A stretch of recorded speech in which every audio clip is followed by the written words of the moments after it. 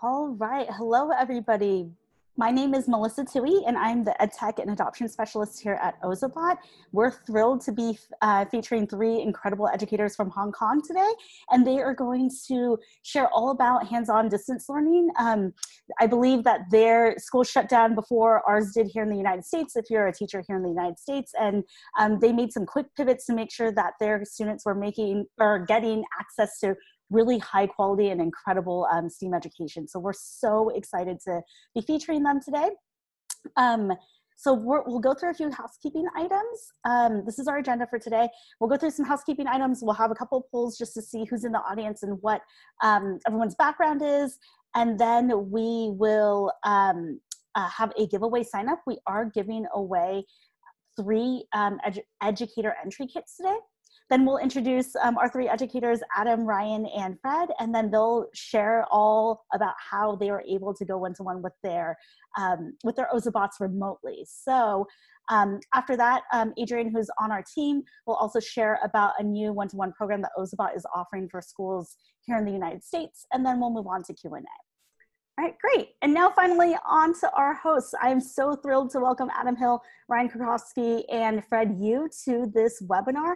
I'm actually gonna hand it over to them to introduce themselves because they know themselves best. And um, we'd love to know more about your experience and your background in education. And um, I'll actually um, stop the screen share and pass it over to one of you so that you can start um, going through the presentation on your end if that makes things easier. So thank you again for joining us. We know that it's your weekend in Hong Kong. There's a huge time difference um, between Hong Kong and the US. So we really appreciate you taking the time to share all your insights and expertise with us. So I'll stop sharing. Yeah, thank you guys enough for being All right. Uh, shall, shall, shall I share my screen? Sure, thanks. Okay, all right. Well, first of all, thanks to Melissa and Cassie and Adrian for having us. We really appreciate it. We're very happy to be here. It's uh, just after eight o'clock in the morning, Saturday in Hong Kong. So good morning and good evening, depending on where you are. Yeah, and I just want to say that Adam Hill is the only one at school right now. You guys are very early today, ready for this. So Fred and I are both at home. there's reliable Wi-Fi. There's chocolates. I'm I'm good. Okay, so good morning, everybody. I'm Adam Hill, and I'm a year four teacher, uh, originally from the UK, but I now teach in a PYP school, year four. I'm also the head of year. And let me just take this opportunity as well to really thank Ryan and Fred. They've been really driving this at our school, and it's all down to them. I'm an enthusiastic class teacher who's really jumping on board, but they've been running it. So thank you both. Okay, um, so my name is Ryan Krakofsky. Uh, I'm a digital literacy coach at uh, VSA with Adam and Fred. Um, and I'm from Canada. I've been in Hong Kong for about 10 years now and really enthusiastic about, you know, uh, finding new ways to integrate technology. So as you can imagine, um, this remote learning time was, was a bit of a challenge when, to think of a real, you know, great resource to use um, for hands-on uh, robotics and, and, coding and so on. Um, so Fred, Fred and I spent a lot of time and uh, yeah, we were looking forward to sharing our experiences through that time. Exactly. Uh, hi, I'm Fred. Uh, I'm, I'm the bilingual PYP digital literacy coach from uh, IB School in Hong Kong. And as a team, uh, we I work closely with Adam and Ryan, so trying to push school forward to more innovation projects.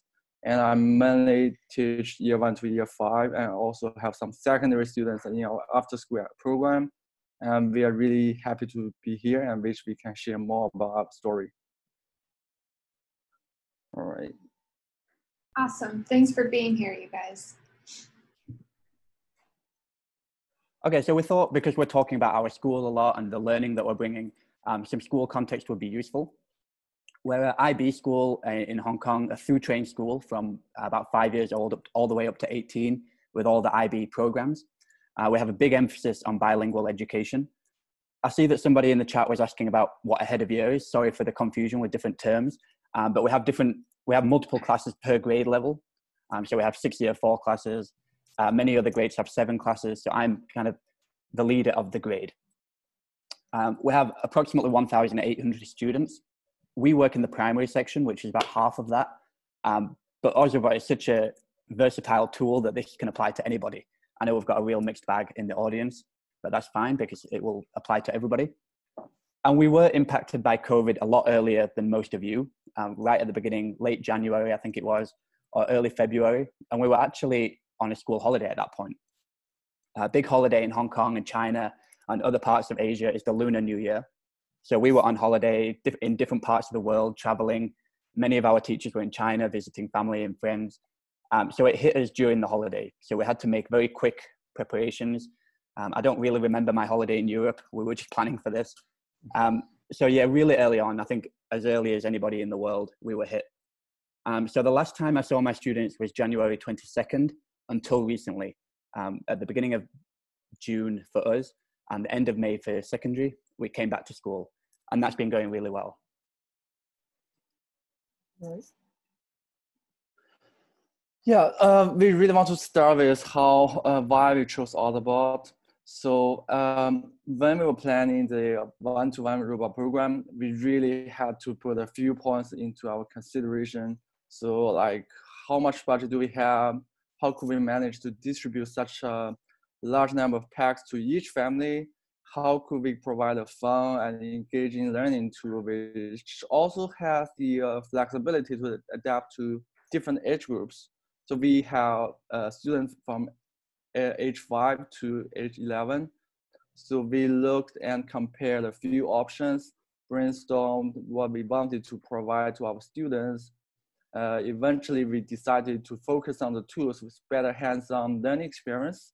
So then Ozobot came into our site, so which is definitely affordable and has a tiny little size that is really easy to deliver and store in either school in Hong Kong considering this living, living condition in Hong Kong is pretty small.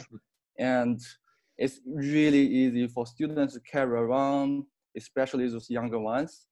And what I really want to highlight is the unique on and off screen uh, coding feature that really brought lots of fun and great learning opportunities for students to create at home with or without an extra device. And I remember that was in March and students have been stuck at home for basically two months and the momentum is kind of like going down. And parents started to complain about too much screen time or this kind of like problems coming up. So you you won't imagine such a good timing to give out a game changer. I really think it was a wise move. Okay. Um, and leading off what fred was saying there uh, as we have students you know in different age levels uh, every student is at a different point in their um, you know understanding of coding and computer programming. So we really needed something that was adaptable for all of our grades. Um, where Ozobot's absolutely perfect for this because for our young ones, they start off with their marker coding, um, and then when they feel comfortable enough, they move on to Ozoblockly. And, and Ozoblockly, can't say enough about it, is a wonderful program. It has scaffolded um, it's a scaffolded coding coding platform where there's different levels for different levels of comfort in coding. Um, and as you go up obviously there's more functions available for students to use. Uh, so it was really great to kind of meet the needs of all of their students um, coding wise in our school. Um, yeah as also about there's it's a really transdisciplinary um, you know device. It can be used in many different subjects uh, ways that we've used it through our challenges here and just in, in school. Uh, we use it a lot for storytelling, um, you know, retelling a vacation, talking about, you know, a special time in their life. They, students absolutely love using the Ozobot to go and code and really um, show what the character was feeling throughout that time through the through the codes. Um, we also incorporate Ozobot using little design challenges. Um, as we were on remote learning, you know students are spending all that a lot of time at home so what better way to you know improve some functions at home or then to use Ozobot to do the do so and, and to do lots of little problem solving um, uh, problems using Ozobot. Uh, and uh, and I want to say also like Ozobot since we started using it you know generation one there's been so many improvements. Um, the bot itself has improved greatly uh, from version one. The online community has expanded. Uh, you know the the the resources that are out there if you're on twitter on youtube in their community um, now with ozobot classroom it's really grown and uh, really you can find ways to apply ozobot to just about every every area of education and yeah as Ryan said, the online community is really great and it's growing. And we've seen lots of great content on Twitter and Facebook and in other places. So that's another reason we chose Ozobot because of all the great things we, we saw. And most importantly, we've really made a conscious effort to bring more coding and robotics into the classrooms. So it's really to consolidate that and build on that and take it even further.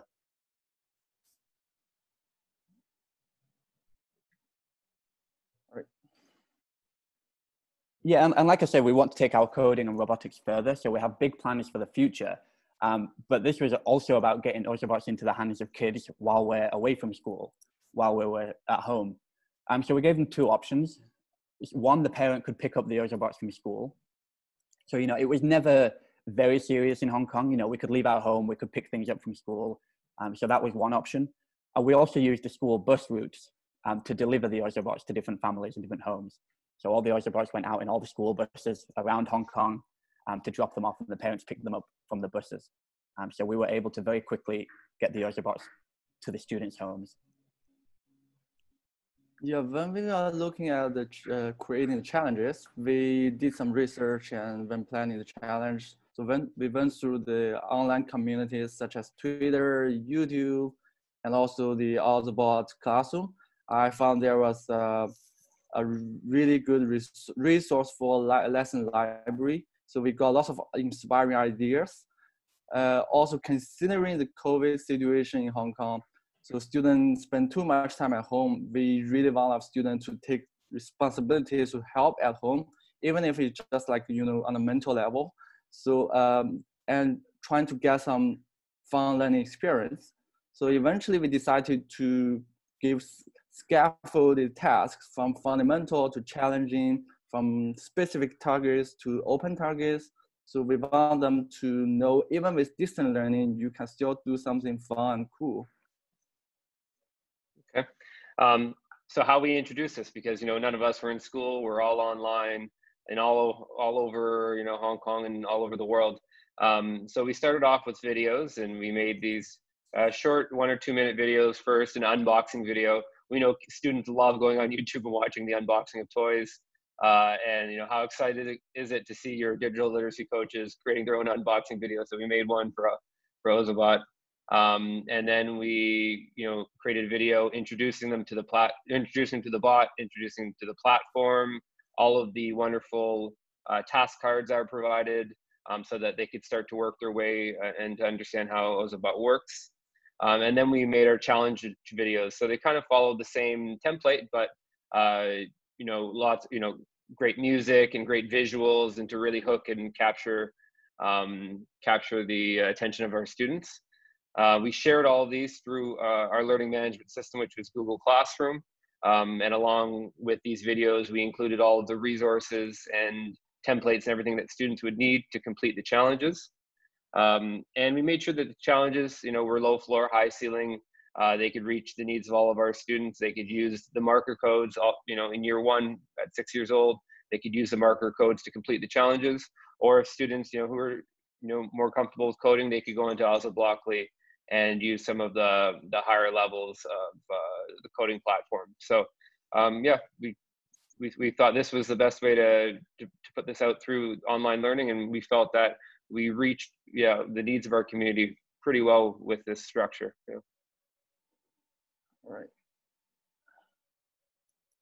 Okay, so next I'm gonna show you uh, how we lay out our instructional videos because we, we, we did this because we think it's it's more engaging than just like giving out some you know text instructions. So we made this into a series uh, I'm gonna walk through very quickly. Oh, sorry. Let me go back. All right. Is it is it lagging? A little. A little bit to start. There it is. A little bit. Okay. All right. So yeah. So you usually we have an opener. So this is our challenge three example. Uh, I'll just. All right. Okay. Yeah. So normally we use some funky and uh, happy music to get the vibe started. And uh, also in, this is section one. Uh, sorry. Yeah, here. So this is our section one, which has instructions and expectations. So we usually just summarize our challenge target into one sentence to get students understand what is going on. And we also post things to consider uh, and put some tips. And also we have some reminders. All right. Yeah, so we have some reminders. And because this is challenge three, it's our first time to introduce Ozoblockly. So we have a quick intro of all the Blockly in this video. Right. Yeah, this is it. So basically it talks about the interface and all the buttons, all the features inside of it. Uh, we found the online tutorial is uh, really intuitive. So we just use the online, we just introduced the online tutorial in, in our video. I'm not gonna play all of them, it's quite long. Uh, let's skip to the next part. Sorry, my, my computer is a bit slow. All right, here we go. And uh, we also included the materials you're gonna use for different challenges. So we, we're trying to uh, let students use their toys or stuff at home to get them more interested. All right, so this is some examples we give students to get them inspired.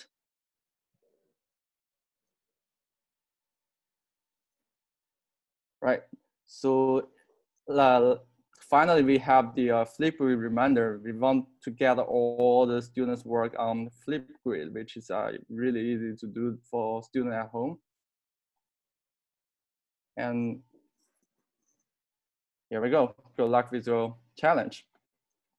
All right.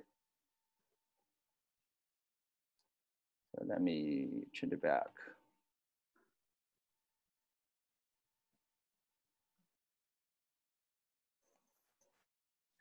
Yeah, so you know the, the, videos obviously they did take a long time to make because we didn't need to find all that content and make that make those tutorials of Ozoblockly, but we really found that that was that thing that really hooked the students in that got them really excited. Um, even coming back to school when the students hear the music they you know they start they start dancing a bit because they recognize it from their online challenges. So um, you know a lot of work but it was it was definitely worth it to get the students involved and engaged. Um, you know we have a big school almost a thousand students in primary the last thing we wanted were, were, was a thousand emails not saying that everyone would email but you know there'd be a lot of emails from students um, so we wanted to set up a support uh, system um, that was nice and easy for students to use. A platform, uh, a platform that's one of our core resources is Padlet, um, and we use this to facilitate any questions that students had uh, during the challenges, during the setup, and so on. Um, so they, we would post, uh, you know, the challenge uh, on the Padlet, as you can see here, challenge one, challenge two, and so on. And then students would just put their put their question uh, below. The nice thing about Padlet was that um, they could they could put their uh, put a picture, record a video so that they could share exactly what was what was happening in their home, and then we could solve we could solve it that way. Uh, and then a lot of the other students they end up saying, well, you know, we were having the same problem as so and so, but we saw in the Padlet that problem was already explained, the the, solution. So we used it kind of as like a FAQ section for students to use.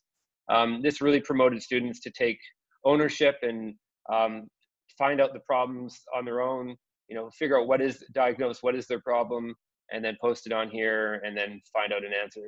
We only had maybe a few students for each challenge that had questions. Everyone was was fairly comfortable just because we had given them so much uh, direction and resources. But we found this as a good way rather than email. All right. Yeah, speaking of sharing, so with distance learning, is it is challenging to make sure students follow follow the instructions properly. So uh, and that's why we put our instructions on Flipgrid and link to our posts in Google Classroom. Uh, also, we included links and instructions in each of our instructional videos in order to gather uh, all work in one place. So uh, although submission of work is optional, as you can see, uh, the amount of engagement was really encouraging. Uh, and I have to say, I was really uh, surprised when I saw this.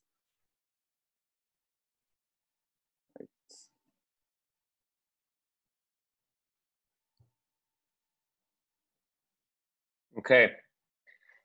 Um, so here you're going to see just playing in the background our challenge videos, uh, or sorry, our highlight videos. Uh, they may not run very clearly, but I just want to talk a little bit about why we made them. Um, so to celebrate all the students' work, uh, because they put all that time and effort in, we made these videos to showcase uh, these Ozobot challenges. So every single video that was submitted on the Flipgrid uh, was at least a small clip was taken and put into the video. Um, and these videos were then shared out regularly to our school community, uh, you know, just to celebrate what the students have been doing, to showcase their creativity, um, and to showcase, you know, all, all of the hard work and time they put into this. Um, and, you know, as one video went out from challenge one, it got more, more students excited to then participate and share a video for challenge two. As you see, this Mr. Hill showed up there because he actually participated in the challenges, um, which is wonderful. They have you know their teacher, one of their teacher mentors, um, you know, creating uh, creating a, a, solution for a mosquito problem in, in, his home. I think one one of them was. Uh, but yeah, this they were a lot of fun to make. You know, we got we we made sure that we went through and viewed all the content uh, and then showcased it in this way. Um, and we shared these out on Twitter, and we'll make sure that everyone has uh, links to these as well at the end of the webinar.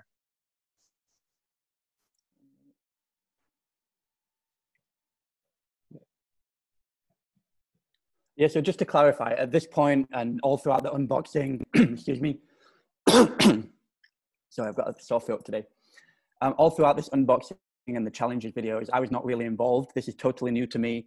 Um, so a lot of the, I know a lot of, a lot of people in the audience are new to Ozobot as well. So that, that was me. Um, but this was a, a, powerful tool that every single one of my students had access to. Um, so I thought that I should get involved. I, sh- I thought that I should show some enthusiasm. So I was just learning alongside them and participating just as a student, um, which I really enjoyed and I was able to learn very quickly because it's not such a difficult tool. Um, I had all the support that I needed.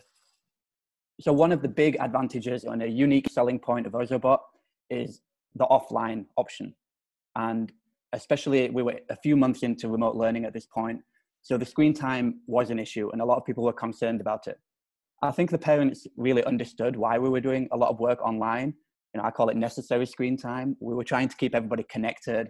Um, we wanted that, that collaboration to continue. We tried to balance it with offline stuff as well but the online stuff was just so much more powerful to keep everybody connected. So when we offered them an offline option for coding, uh, of course, we still brought it together in the highlight videos and Flipgrid, but they really appreciated this offline option.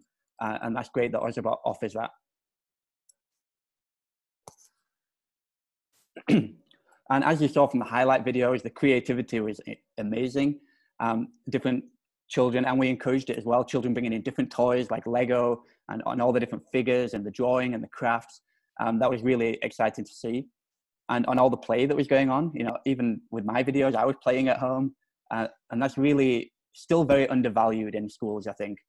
We know the value of play, but I don't think it affects our practice enough like it should.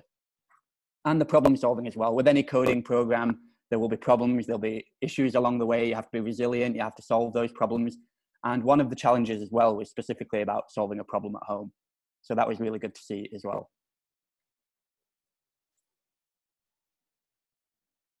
And the challenges that Ryan and Fred set were deliberately very open. They were not um, aimed at any particular subject or topic, but just from coding, and, and I know from my own experience of doing this as well, is participate, participating um, I was using so many skills that the children are learning in school. You know, I was thinking about angles and measurements, and I was thinking about um, video editing and storytelling and art. So even with these open challenges, so much learning is involved. And what, as a teacher, whatever learning outcome I have in mind, there's almost guaranteed to be byproducts learning going on. Um, other things that the children are either reinforcing or learning along the way.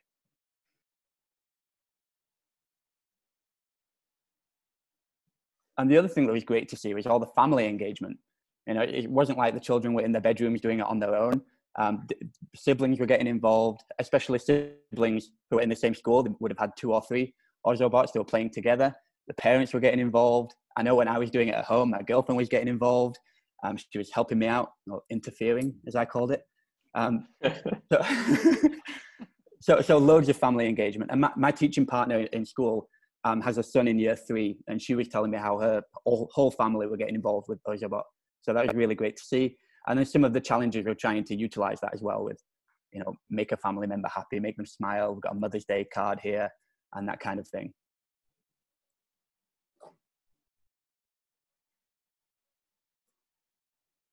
Okay.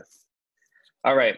Um, so we just want to talk about uh, some next steps for us because we are fairly new with this. You know, we we're only about, I guess, three months or so into our journey into into one-to-one Ozobot. Um, we really want to use Ozobot as a core resource because you know we have now one in the hand of every single child at the school, every student. Um, so some next steps for us, we're going to make sure that we run some upskilling sessions uh, for teachers we had already been uh, integrating Ozobot into learning for the pre for the last few years. Um, so we had done a, a, little bit of upskilling, but we wanted to make that more widespread uh, and show different grade levels and the teachers in different grades how this can be applied um, to the con to their curriculum and the content that they're learning in the, in their grades.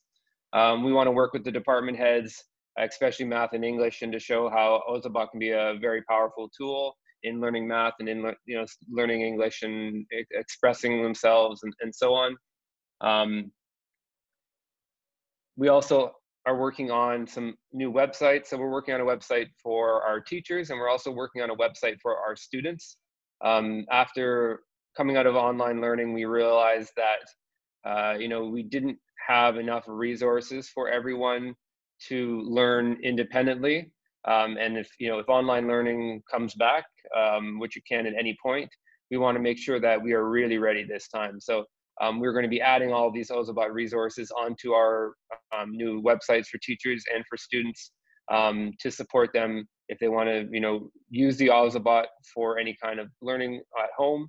And then for students, they want to um, just, you know, work on something on their own uh, using the resources they already have from Ozobot. Uh, and then we also need to explore Ozobot Classroom more when, while we're looking for more integration ideas. Uh, we see new ideas going up there all the time. It's an it's a treasure trove right now of great integration ideas. Uh, I don't I don't think we've explored that full enough yet. We we mainly were using Twitter uh, and YouTube when we were creating the challenges. Um, so this is something we're going to explore further uh, to really strengthen our resources uh, at school. Yeah, um, as an educator, uh, uh, I do believe that diversity of robots can provide different uh, learning experiences. So some robots might have uh, advanced AI features for older students, while some can give better fundamental learning experience for younger students. And some support block-based coding only, and some may support uh, text-based coding only. So we actually have different sets of robots in our secondary section. So how we align with our secondary school robot, uh, robot, robotics curriculum and with a better, smoother transition from Ozobots to other robots will be a challenge for us. And this is definitely what we want to work on next. And hopefully we can share more about this in future. Yeah, and I'd just like to mention as well, sorry, they've just started drilling next door, so it's not ideal. I'll stay muted for as much as possible. Um, but the bot camp is really great. Um, I already had the learning from Ryan and Fred and all of their great videos, but I was checking out the bot camp just out of curiosity, and that's really good, step by step. Anyone starting with Ozobot, that's a great place to start. And just one hour, you've really got everything covered. Okay. Okay. Um, so there are some things that you need to consider if you are going to do you, utilize a one-to-one Ozobot program. All obviously budget. I know um, Ozobot's going to talk a little bit about their new um, budgeting plan for how they're going to uh, implement this program in schools. Um, for us, it was it was really about uh, you know because we needed to buy so many devices it was really needed a, we really needed that affordability so it met our budget needs within this situation but i know every situation is different um, Uh, and also to, we have to consider the, the professional development of teachers. And I know Ryan mentioned upskilling and offering workshops, but there's also a lot out there for self-learning. The teachers can direct that on their own. Um, as Fred mentioned already, the tutorial of Ozoblockly is really great. That's step by step. The bot camp, all the YouTube videos that are out there, and all the great content creators. Um, it's really there already. So you can self learn, and that professional development offered by workshop leaders is just that extra step. And when teachers are really familiar with the product, they know how it works, like any tech, then they can focus on pedagogy and, and making it work best for the classroom. And they can also get connected with other people using the community and take advantage of those existing resources. Right. Uh, for the last point, I'd like to use a few questions to put this through. So uh, things like how how how do you garner uh, excitement in your school around one-to-one Ozobot program? Are you going to create any prom promotional materials or advertisement? Are you going to hold any workshops for your school community, such as teachers or parents workshops? So what are the strategies to keep the momentum rolling? So especially especially during this difficult time, we think it's um, very important for students to have the momentum going to learn at home. Right. Oh, okay. I think that's should it. And is anything you want to add, Adam or uh, Ryan? No, I think that's it. We can give it over to the team. Okay, all right. Yep. Thank you so much, you guys. Um, I am Adrian from the Ozobot team. I'm going to follow that up really quickly. So let me share my screen. Um, let's see. So you guys should see that same slide now.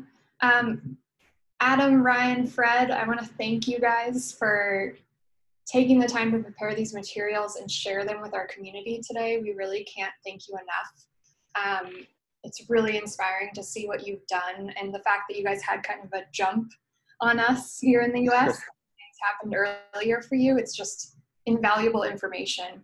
Um, and I think it'll be interesting to dig into with you guys in the Q&A uh, what it's been like now going back to school because everyone's wondering about that a lot.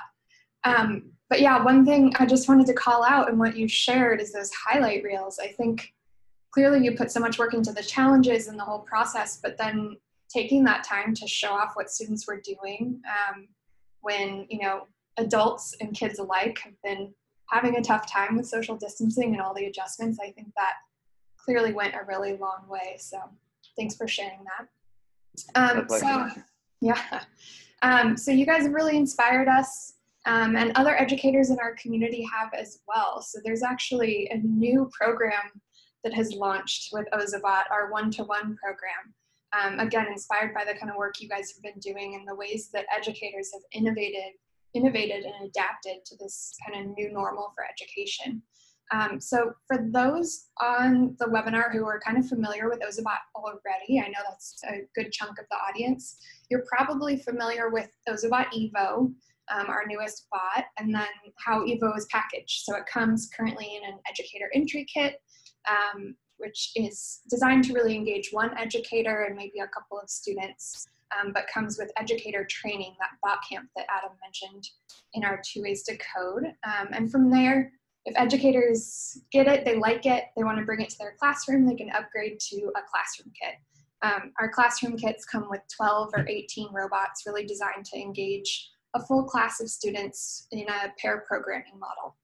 But so with everything that's gone on um, and seeing, again, innovative educators still finding ways to get bots to their students and engage them even at home, we've now introduced this one-to-one -one program. So the way it works and the main difference is that it's actually a subscription model. So for schools and districts, they're buying into a two or a three-year plan with us. Um, and it essentially takes the core of what our educator community loves about Ozobot, so specifically those two ways to code and the versatility the two ways to code give us, um, and delivers those for hybrid learning. So whether your students are at home or back in school, we want them to be learning and engaged with Ozobot. Um, so just to break down the basics of how it works, each student gets a bot um, you can see the packaging right here. It's a nice protective case. Um, so we want to make it easy for schools and districts who are distributing Ozobots out to their student populations. Um, and that case also, it houses, of course, an Ozobot Evo, but also the color code markers and charger. Um, for teachers, teachers get access to ready to run lessons. Um, the team today talked a lot about Ozobot Classroom, same platform to access those, um, but we're introducing, actually Melissa is spearheading, introducing more and more remote friendly lessons for this program. Um, and then finally for schools and districts, also through Ozobot Classroom, you get an ability to track student engagement, even when your students are working at home, which we know engagement is one of the biggest concerns right now, followed by that screen fatigue that everyone's been talking about. Um, one thing I want to highlight, highlight for the districts too, um, since it was a question in the chat, we have a worry-free bot replacement program as part of the one-to-one program. So I said two and three year subscriptions. Um, at the start of your second year, we just ship you more bots, 20% of your original cohort of bots. Um, so you don't even have to worry about one student lost their bot, another one broke one, or it's damaged. Um, so we want it to be really seamless and easy for you guys. Um, I mentioned classroom. So like with a classroom kit purchase, um, our one-to-one -one program includes access to Ozobot Classroom. That's where all of that lesson content is.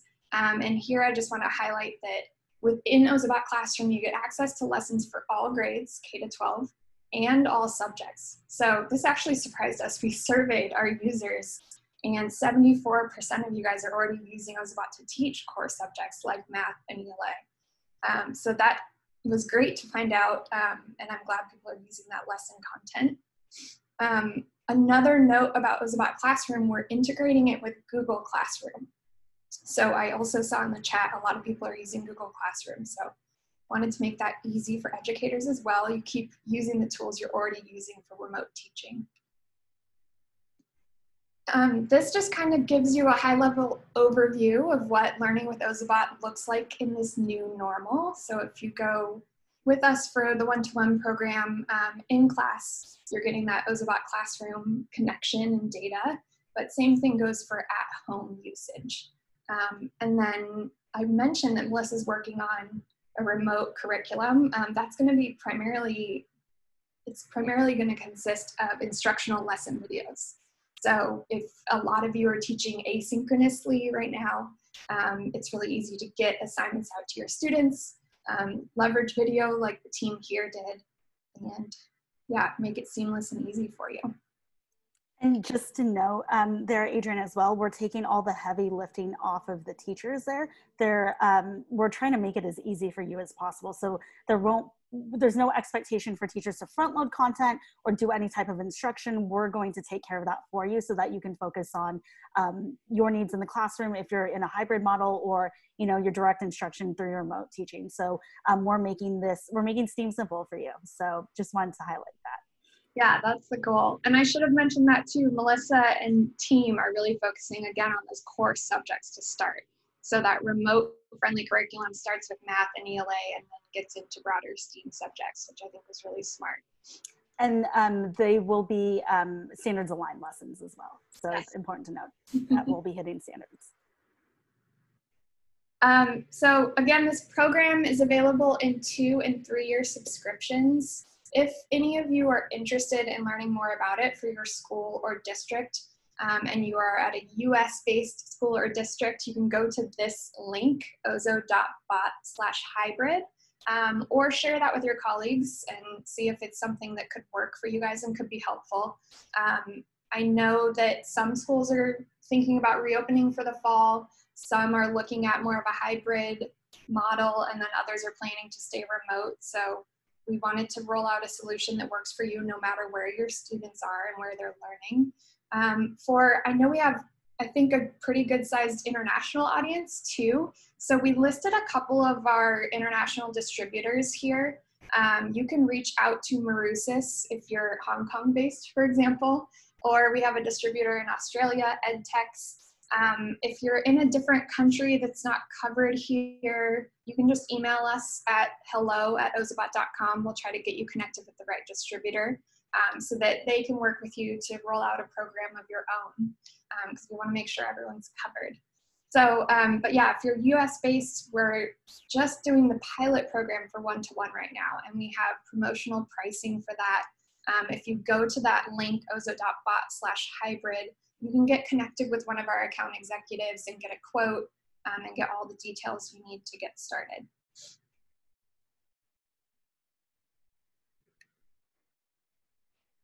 So with that, uh, Melissa, should I let you take over? Yeah, sure. I think um, we can stop screen sharing just for our Q&A session and then I'll wrap up at the end with the final slides. So um, we got a lot of really great questions in the chat and in the Q&A.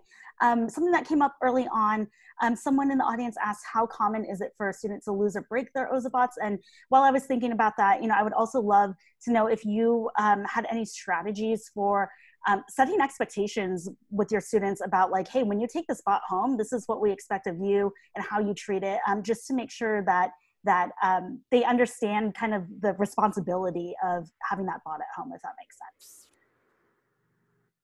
yeah, I can jump in. Um, we already have a one-to-one program with Chromebooks and iPads, um, different in different grades, but we've we've emphasized that already. This is your product, look after it, and you know we, all of all of that is in place already. So I feel that this Ozobot was not um, was a new product, but we'd had all, all, of those conversations previously already. And I'm not aware of um, I think one I'm aware of in the whole school that that had a, a breakage. Maybe you guys know more. Yeah, um, there was a there were a few Ozobots just where the where it plugs in we had a few issues, but there was no problem uh, with the distributor and switching switching those for the students. Um, yeah, we have we have three pillars at the school that we follow with all technology. It's um, respectful, responsible, and accountable. Uh, so that applied with this as well is that you need you know this is your this is your property. It's also you know something the school provided, so it's it's uh, something very important. So you need to be respectful and be responsible of it. And if anything does happen, um, things do happen. You need to be responsible for your actions, and and the students know that, and they've been following it. So, you know, Great, thank you. Um, Susie in the audience was uh, had a question about having students with disabilities. Um, was that something that you, um, you all encountered and how were you able to um, adapt your lessons and accommodate to their learning, learning needs? Well, I think the, the low floor and high ceiling approach was really valuable. You know, not just thinking about different ages, but different abilities as well. Um, so those open challenges that everybody could access but depending on your ability, you could take it however however far you want to. So we kind of u- utilize that approach, just like we do in, in other classes. Yeah, um, and yeah, we, we we do obviously have students with some differing needs, uh, and you know some of them actually did reach out during the to the support uh, Padlet, um, and and shared some issues that they were having, and we facilitated through there. Uh, they sent video, we sent some video back, uh, and I think yeah, it was what wasn't it because we had that off that off screen coding option using the markers it really for the students who really have some difficulty you know picking up those fundamental coding skills that they can at least access it using the, using the marker coding um, we definitely covered i think all of our bases and all of our students Great, thank you. Um, Joy is asking, did you come up with the challenges or is that something provided by the Ozobot company? Those are in, inspired by the online communities. As I said before, like we checked um, Twitter, we checked YouTube, we checked the um, um, Audible online community. So there are lots of good ideas around the world. So we just basically cons- consolidate the ideas into adapt to our school context. So it's really like a, um, it's not it's not really like a very difficult and challenging uh, process. So I think it's uh, if, if you want to start with that, start with something fundamental and grow it up. Uh, so you can cover basically all the students with different learning um, capabilities. Yeah. Great, thank you. And um, Joy, just to clarify as well, we are creating that um, one-to-one curriculum, remote learning curriculum. So there will be supports um, from the Ozobot side as well for you to access and utilize in your own classroom. Um, Nolan was asking, is it possible to develop a content related challenge while still allowing for creativity? Um, as a follow up to, as an example, uh, follow up to studying pollination, could students use Ozobots um, to somehow display their learning about the process? Sorry, can you just say that again? Sorry. Yeah, I think he's asking if um, how how how do you allow for structured activities but still allowing for creative freedom for for the students? Yeah, it's a good question. I think uh, not just with Ozobots, but with any kind of creative process. Um, I think just setting the expectation and being clear about the learning goal, but without giving too many what's the word I'm looking for? Without telling them exactly what to do. You know, you express yourself in your own way. This is what I expect, but how, how you get there is up to you. Um, I think that's what I tried to do in my classroom. It's almost like a Yeah. guided exploration, if you will. Yeah, does that answer the question? Yeah. Nolan, if you want some clarification, feel free to type in the chat if I it's misinterpreted your question. It's a good question, and a tough question, but yeah. And uh, uh, like with the challenges, we, you know, students a- a- accompanied the Ozobot and the markers with so many different things. So leaving it open, let, letting them bring in their creativity, their toys, their costumes that they create, their things that they make out of recyclable materials, their artwork, and whatever it was. So even if maybe the challenge is um, kind of specific for you know how you know what the Ozobot needs to show, they could bring in all these different elements to make it more creative and to bring in their you know their interests and their passions uh, in, into their creation. Great, thank you. Um, I actually had a question. I know that um, bilingual education is, you know, relevant here in the United States as well. And I noticed that in your video, it looks like it was Mandarin and English in the direction. So, um, can you talk a little bit about if uh, how the bilingual education element kind of comes into play um, in this content area and in your lessons? Yeah, and I think um, when they were online and they were working from home remotely, um, we put less pressure on that. So the instructions in the video, for example, I believe they were just a translation of each other, um, which is fine because we have different students of different abilities. So we didn't want to put that pressure on them for different languages. We do have some students who are weaker in one, um, but usually we don't translate like that. Normally the instructions are, are, are different things. So you have to kind of understand both. And that's the expectation here and we have quite a unique, quite famous in Hong Kong bilingual uh, teaching approach. We have two teachers in every classroom, uh, one uh, English speaking, one Chinese speaking, and we co-teach together. Um, so we kind of bounce off each other, um, but in the two languages. So the students are picking up both, and that goes all throughout the primary. That's absolutely amazing.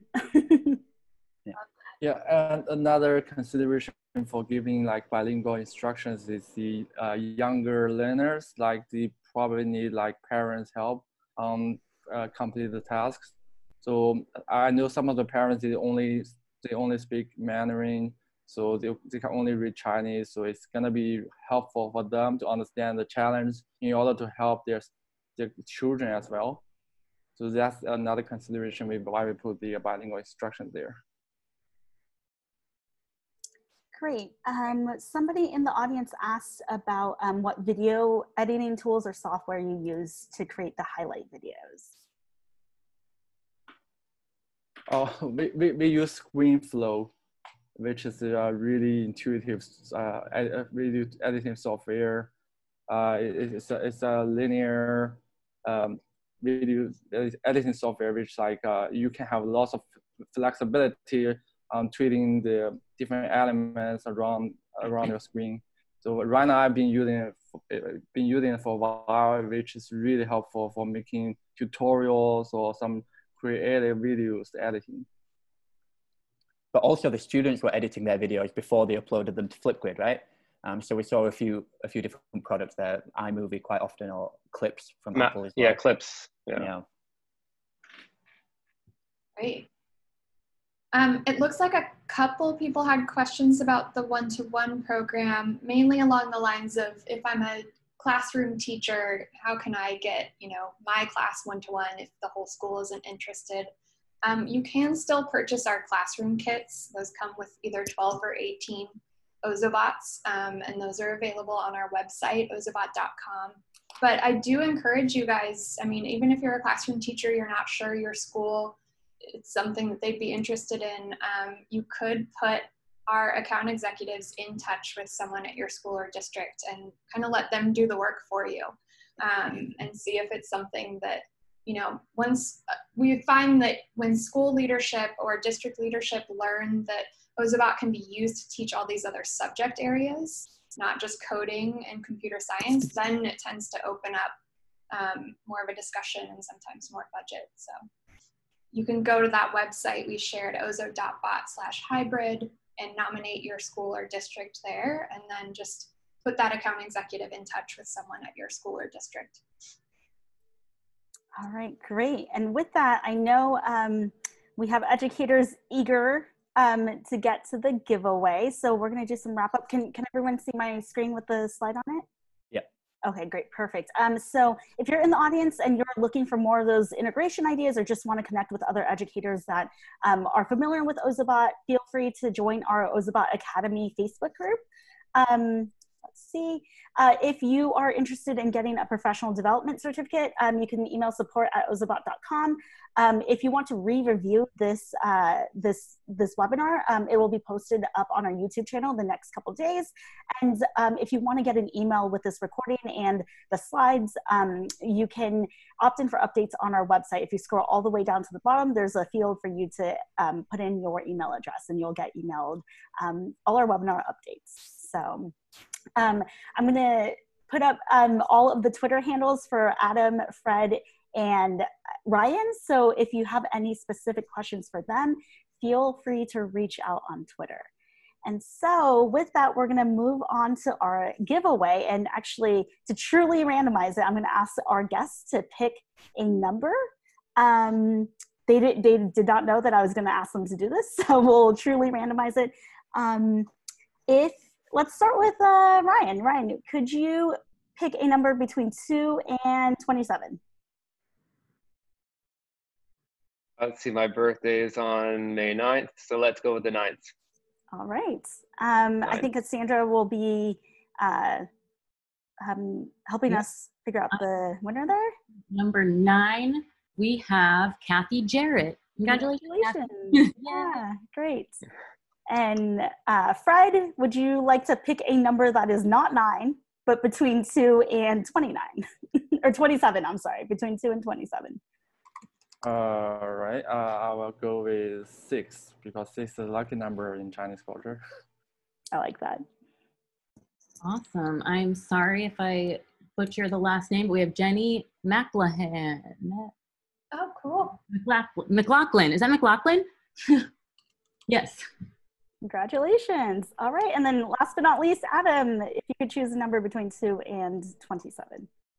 Well, to honor this challenging year, let's go for 2020, number 20. Oh, great. Thank you. We have Allison Sander. Congrats, Allison. All right, and we will be reaching out um, to you, to the winners, um, just to get your information so that we can get those educator entry kits to you.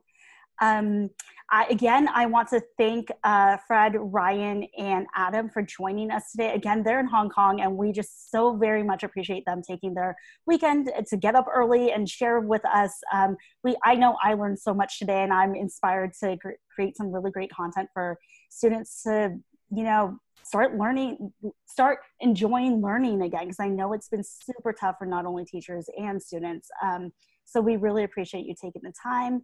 We hope everyone stays safe and healthy and hope everyone has a really wonderful weekend. So thank you. Thanks, you guys. Thank, thank you. you. It's our pleasure. Thank, thank you. you. Bye. Bye. Have a great weekend. Yeah, you thank too. you.